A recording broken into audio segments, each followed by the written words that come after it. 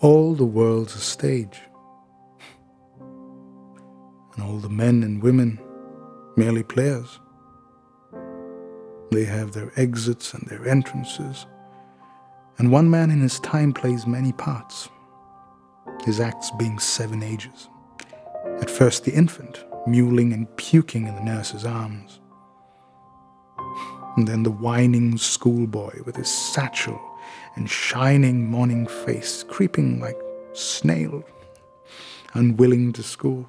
And then the lover, sighing like furnace, with a woeful ballad made to his mistress's eyebrow. Then a soldier, full of strange oaths and bearded like the pard, jealous in honor sudden and quickened quarrel, seeking the bubbled reputation even in the cannon's mouth.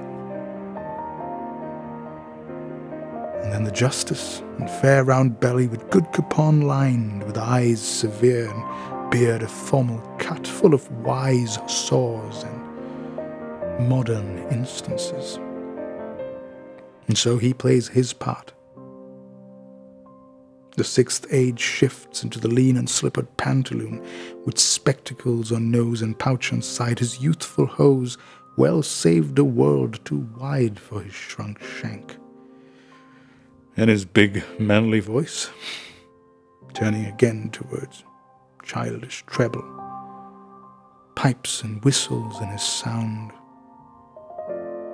Last scene of all that ends this strange eventful history. The second childishness and mere oblivion. Someone's teeth, someone's eyes, someone's taste, someone's everything.